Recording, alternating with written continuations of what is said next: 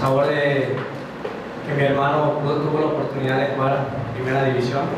Eso me, me, dejó muy contento y más que nada por la, por la experiencia que, que, se vive, ¿no? que le desea uno a, a, todo futbolista de poder llegar a, a primera división.